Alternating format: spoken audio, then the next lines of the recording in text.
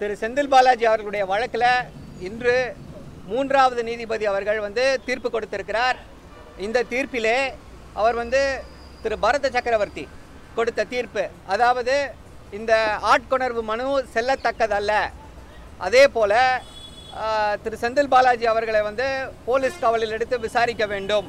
அவருக்கு வந்து அவருடைய அந்த கைது வந்து சரியானதான் சரியான முறையில் நடத்தப்பட்டிருக்கிறது. என்று திரு பரத சக்கரவர்த்தி கொடுத்திருக்கக்கூடிய அந்த தீர்ப்பு சரியான தீர்ப்பு. நான் வந்து நீதியரசர் நிஷா பானு அவர்கள் கொடுத்த தீர்ப்பை ஏற்றுக்கொள்ளவில்லை என்று ஒரு தீர்ப்பை என்று இப்போ இப்போ கொடுத்துருக்காரு. கொடுத்ததோடு மட்டுமல்லாமல் இப்போ இந்த தீர்ப்பை வந்து அதே நீதிபதிகளுக்கு அதே இரண்டு நீதிபதிகளுக்கு வந்து இந்த மூன்றாவது தீர்ப்பை வந்து அனுப்பி வைத்திருக்கிறார். அனுப்பி வைத்து அவர்கள் வந்து இந்த முடிவின் அடிப்படையில் அந்த தீர்ப்பு அமையும் அமைய வேண்டும் என்றும் சொல்லியிருக்கிறார். இதில் வந்து முக்கியமாக என்ன விஷயத்தை பார்க்க வேண்டும் என்றால் இந்த நீதி அரசர் என்ன சொல்லியிருக்கார் அப்படின்னா திரு செந்தில் பாலாஜி அவர்களுக்கு கைது பற்றி கிரவுண்ட்ஸ் ஆஃப் அரெஸ்ட்டை வந்து சொல்லணுன்ற அவசியம் இல்லை. கிரவுண்ட்ஸ் ஆஃப் அரெஸ்ட் வந்து அவருக்கு ஏற்கனவே தெரியும். ஏன்னா காலையிலேருந்து அங்கே வந்து விசாரணை நடந்து கொண்டிருக்கிறது ஒரு சோதனை நடந்து கொண்டிருக்கிறது அவருடைய வீட்டில் அதனால் அவருக்கு தெரியும் அப்படின்னு சொல்லி ஒரு கருத்தை சொல்லியிருக்கிறார். இந்த கருத்து வந்து உச்சநீதிமன்ற தீர்ப்புகளுக்கு வந்து எதிரான கருத்து. ஒரு அதிகாரிகள் ஒரு இன்ஸ்டிடியூஷன் அதாவது ஒரு காவல் அதிகாரிகள் வந்து கொடுக்க வேண்டும். கிரவுண்ட்ஸ் ஆஃப் அரெஸ்ட்டை கொடுக்கணும் அப்படின்னா அது அவர்கள் கொடுக்க வேண்டும். இல்லை இல்லை அவருக்கு தெரியும். அதனால் கொடுக்க வேண்டும் என்று சொன்னால் உச்சநீதிமன்ற தீர்ப்புகள் வந்து அப்படி இதுவரைக்கும் எந்த விதமான தீர்ப்பையும் அப்படி கொடுக்கவில்லை. அவங்களுக்கு தெரிஞ்சிருக்கும் என்று நீதிமன்றமே வந்து ப்ரிசியூம் பண்ணுது. இது வந்து புது புது வகையாக இருக்கிறது. ஸோ இது மூன்றாவது நீதிபதிக்கு போய் அதை இது பண்ணுவாங்க. அதே போல் இன்னொரு முக்கியமான கருத்து என்ன அப்படின்னா நீதிமன்ற காவல். அந்த முதல் பதினைந்து நாட்களில் வந்து போலீஸ் காவலில் வந்து எடுத்து விசாரிக்கவில்லை என்றால் பிறகு எப்பொழுதுமே விசாரிக்க முடியாது என்பது உச்சநீதிமன்றத்துடைய தீர்ப்பு. அனுப்பும் குல்கர்னி என்ற வழக்கில் வந்து உச்சநீதிமன்றம் மூன்று நீதிபதிகள் அடங்கிய உச்சநீதிமன்றம் தெளிவாக வந்து அந்த தீர்ப்பில் சொல்லியிருக்கு. பதினைந்து நாட்கள் முடிந்து விட்டால் முடிந்து விட்டது தான் அதற்கு பின்னால் யாருமே அதை மாற்ற முடியாது என்று அந்த ஒரு தீர்ப்பை வந்து சொல்லியிருந்தது. இப்போது நீதியரசர் வந்து என்ன சொல்லியிருக்காரு அப்படின்னா இல்லை இந்த காவல் வந்து முடியவில்லை. அவருடைய உடல்நிலை சரியில்லாத காரணத்தினால இந்த அதிகாரிகளால் வந்து போலீஸ் காவலில் எடுத்து விசாரிக்க முடியவில்லை. அதனால் வந்து இந்த காவலை வந்து நீட்டிக்கலாம். அப்படின்னு சொல்லி ஒரு புது கருத்தை சொல்லியிருக்கிறார். இது வரைக்கும் இப்படிப்பட்ட கருத்தை வந்து யாருமே சொல்லவில்லை. எந்த நீதிமன்றமும் இப்படிப்பட்ட உச்சநீதிமன்றமே இந்த மூன்று நீதிபதிகள் இப்படிப்பட்ட ஒரு கருத்தை சொல்லவில்லை. ஸோ அந்த வகையில் இப்படிப்பட்ட ஒரு புதிய கருத்து வந்து இன்று வந்திருக்கிறது. இப்போ இதில் சிக்னிஃபிகண்ட் மிக மிக முக்கியமான வெற்றி என்னவென்று பார்த்தால் எல்லாருமே என்ன சொல்கிறாங்கன்னா அமலாக்கத்துறை அதிகாரிகள் காவல் அதிகாரிகள் அல்ல என்பதை எல்லாருமே ஏற்றுக்கொள்கிறார்கள். சொலிசிட்டர் ஜெனரலே அதை தான் ஆவதத்தில் சொன்னார். அமலாக்கத்துறை வந்து கரெக்டு தாங்க. அவங்க வந்து போலீஸ் அதிகாரிகள் அல்ல என்று சொல்லியிருக்கிறார்கள். இப்போ இந்த நீதியரசர் என்ன சொல்கிறாரு அமலாக்கத்துறை காவல் அதிகாரிகள் இல்லைதான். ஆனாலும் அவர்களுக்கு அந்த அதிகாரம் இருக்கிறது என்று நாம் புரிந்து கொள்ள வேண்டும் என்று சொல்கிறார். புரிந்து கொள்ள வேண்டும் என்று எந்த சட்டத்திலும் இல்லை. ஸோ இதுதான் இப்போ இப்படிப்பட்ட ஒரு முக்கியமான சூழ்நிலையில் இது இருக்கிறது. உச்சநீதிமன்றத்திலே இருபத்தி நான்காம் தேதி திரு செந்தில் பாலாஜியுடைய அந்த இடி தாக்கல் செய்த மேல்முறையீட்டு மனு இருபத்தி நான்காம் தேதி விசாரணைக்கு வருகிறது. அப்பொழுது இந்த தீர்ப்புகள் எல்லாம் உச்சநீதிமன்றத்தின் முன்னாலே சமர்ப்பிக்கப்பட்டு உச்சநீதிமன்றம் இந்த வழக்கில் ஒரு இறுதியான முடிவை எடுக்கும்.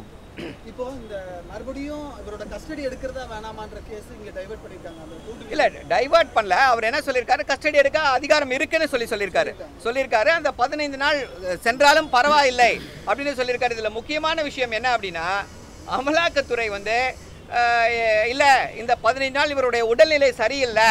அதனால் நாங்கள் இவளை வந்து காவலில் எடுக்கலன்னு சொல்லி சொல்லலை. உடல்நிலை சரியில்லைனாலும் பரவாயில்ல.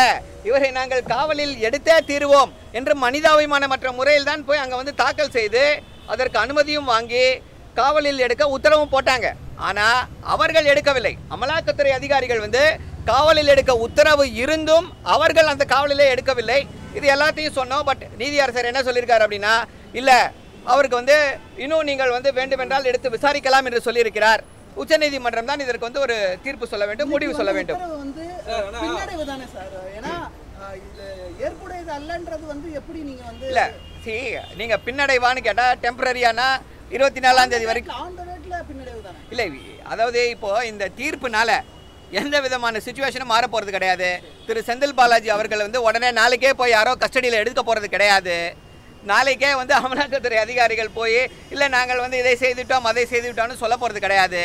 இந்த மேல்முறையீட்டு ப்ராசஸில் இந்த ப்ராசஸில் இது ஒரு ஸ்டெப்பு ஒரு ஸ்டெப்பு முடிஞ்சிருக்கு இன்னைக்கு.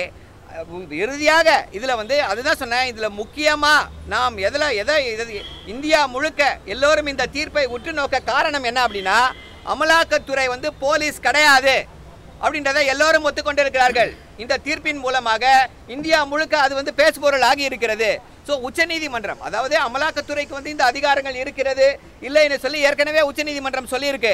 இப்போ இப்போதான் முதல் முறையாக அந்த அமலாக்கத்துறையே ஆமாம் கரெக்டு தான். நாங்கள் போலீஸ் அதிகாரிகள் கிடையாது. நாங்கள் போலீஸ் அதிகாரிகள் கிடையாது.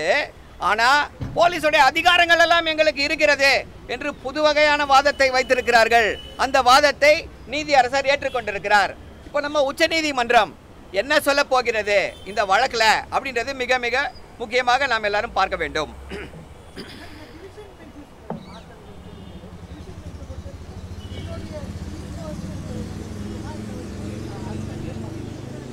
இல்லை முதல்ல இருந்தெல்லாம் கிடையாது. அந்த இரண்டு நீதிபதிகள் மாறுபட்ட தீர்ப்பை கொடுத்துருக்காங்க. இப்போ அதனால மூன்றாவது நீதிபதி கிட்ட இந்த தீர்ப்பு வந்துச்சு இந்த வழக்கு வந்துச்சு. இப்போ மூன்றாவது நீதிபதி ஒரு தீர்ப்பை கொடுத்துருக்கிறார். ஸோ இரண்டு நீதிபதிகளுடைய தீர்ப்பு எதுவோ இரண்டு நீதிபதிகள் வந்து எதுலலாம் எ- ஒத்து போகிறாங்களோ அதுதான் தீர்ப்பாக இருக்கும் ஸோ அப்போ வந்து பரத சக்கரவர்த்தி என்ன சொல்கிறாரோ அந்த இது இதே போல் இந்த இந்த இதே வழக்கில் இன்னொரு சிக்னிஃபிகண்ட் விக்ட்ரி என்னன்னு சொல்லி சொல்லணும் அப்படின்னா எல்லாருமே என்ன சொன்னாங்கன்னா இப்படிப்பட்ட வழக்குகளிலே நீங்கள் வந்து ஆட்கொணர்வு மனுவை தாக்கல் செய்யவே முடியாது. நாட் மெயின்டைனபிள் என்று வாதிட்டார்கள். எல்லாருமே மூன்று நீதிபதிகளுமே வந்து ஏற்றுக்கொண்டிருக்கிறார்கள். எந்த வழக்காக இருந்தாலும் சரி இப்படிப்பட்ட வழக்குகளில் ஹெச்சிபி இஸ் மெயின்டைனபிள் நீங்கள் வந்து ஆட்கொணர்வு மனுவை தாக்கல் செய்யலாம். திரு செந்தில் பாலாஜி அவர்கள் வந்து இதில் ஆட்கொணர்வு மனு தாக்கல் செய்தது சரி என்று சொல்லியிருக்கிறார்கள்.